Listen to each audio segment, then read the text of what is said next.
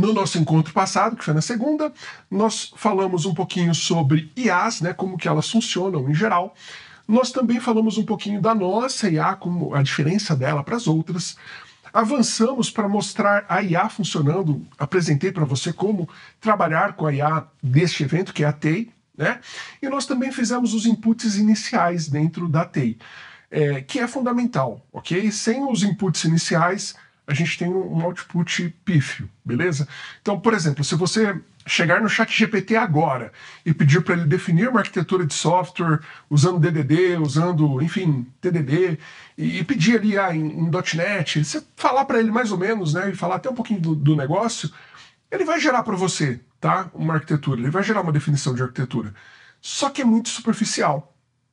Beleza? Não dá mais para a gente fazer isso, principalmente agora, com esse boom imenso de tecnologias e agora com a IA acelerando o desenvolvimento, né, tem mais ainda pressão, a gente vai ter é, mais problemas ainda, porque soluções feitas na base da pressa, só né, buscando velocidade e velocidade de entrega e não olhando principalmente nessa fase da arquitetura para o alicerce da aplicação, vai gerar problemas grandes, né? Porque a gente tende a trabalhar cada vez com um volume maior de dados cada vez com mais tecnologias, cada vez com mais complexidades.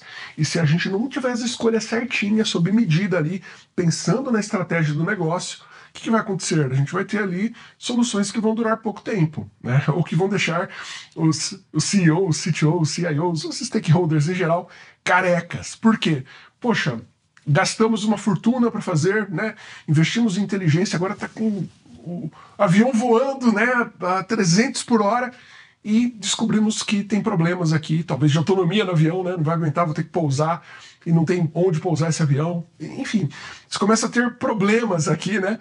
Que em produção é muito mais difícil de resolver, talvez até inviável, talvez tenha que jogar fora e fazer outra, outra solução. Eu já vi muito disso e temos uma tendência natural disso acontecer agora, tá? Porque está tendo uma, uma evolução tecnológica grande. Então, esse evento é para isso, para ajudar você a projetar melhor as suas soluções mais rápido e fazer uso da IA para isso.